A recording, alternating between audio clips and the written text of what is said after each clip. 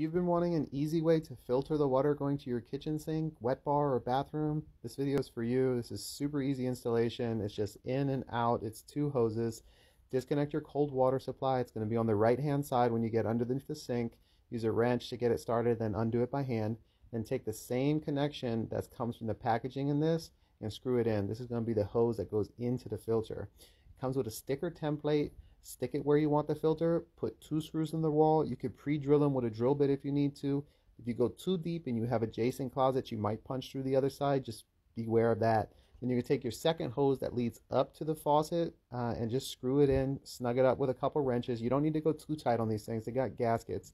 And then basically you just plug these things into the sides of the filter. It's super easy. You can't really mess it up.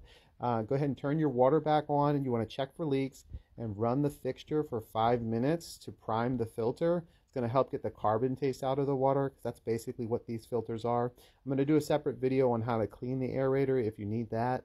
I always like to either write on the filter or put a sticker of the date when I replace it. This one's going to last about 12 months. When it starts to get full of debris, the water pressure will slow down. That's when you know you need to replace it. This is so simple to replace, just in and out.